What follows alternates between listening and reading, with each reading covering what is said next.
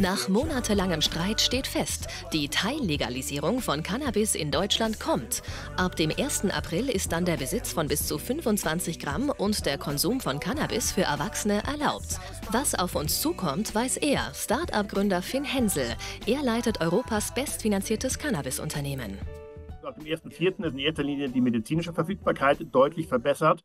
Weil durch die Herausnahme aus dem Betäubungsmittelgesetz kann man künftig Cannabis eher so mit Ibuprofen 600 vergleichen, dass man quasi immer noch zum Arzt gehen muss, äh, aber der Arzt nicht mehr diese gleichen Auflagen und, und Voraussetzungen erbringen muss, wie zum Beispiel beim Betäubungsmittel.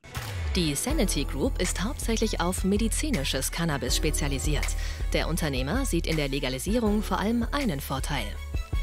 Es gibt heute de facto in Deutschland nach Schätzung zwischen 4 und 8 Millionen regelmäßige Cannabiskonsumenten. Das heißt, sie kaufen momentan im Schwarzmarkt.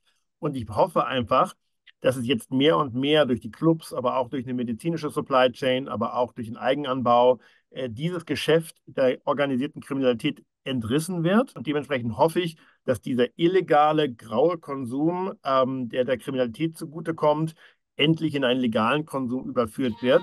In den USA ist das Geschäft mit Cannabis ein Milliardenmarkt. Kein Wunder, dass dieses Geschäftsmodell für Fantasie sorgt. Etliche Promis sind bereits als Investoren ins Cannabis-Business eingestiegen.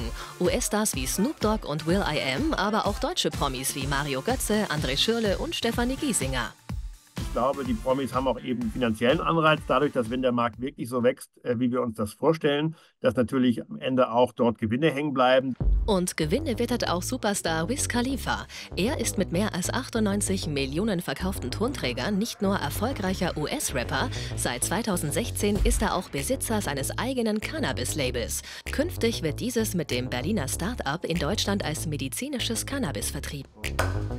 Die neueste Zusammenarbeit kam zustande, weil sich die Gesetze auf der ganzen Welt ändern und die Leute den uh, Anbau und Vertrieb von Marihuana in ihrem Land immer mehr akzeptieren. Dennoch, die Kritik am deutschen Gesetzesentwurf ist laut. So bleibt der zulässige Grenzwert im Straßenverkehr ungeklärt. Und auch der Jugendschutz spielt eine große Rolle, wie aktuell im Landkreis München. Was wir halt befürchten ist, dass es Auswirkungen auf die Jugend hier gibt, dass es mehr Cannabis auf den Spielplätzen ähm, gibt und auch, dass der Konsum in den Schulen steigt. Finn Hensel sieht in der Legalisierung jedoch in Hinsicht auf den Jugendschutz auch eine Chance. Heute de facto kann jeder Jugendliche zum Dealer um die Ecke gehen und ihm ist das völlig egal, ob er an einen 16-Jährigen oder an einen 50-Jährigen verkauft. Und parallel, und das ist ein großes Problem, kann auch niemand bei einem Dealer nachvollziehen, wie viel THC ist in der Ware, ist das Produkt verdreckt, wurde es gestreckt durch zum Beispiel Haarspray, um es schwerer zu machen. Gerade bei den Cannabis-Clubs, aber auch natürlich durch die ärztliche Aufsicht bei Medizinalcannabis oder eben auch durch Eigenanbau kann man halt sehr viel besser kontrollieren, was man da eigentlich konsumiert. Jugendliche sollten jedoch am besten gar nicht erst zum Joint greifen. Insbesondere für unter 25-Jährige birgt der Konsum einige Risiken, die die Entwicklung des Gehirns negativ beeinträchtigen können. Auch wenn die Teillegalisierung kommt, kann man sich nach wie vor für den Nichtkonsum entscheiden.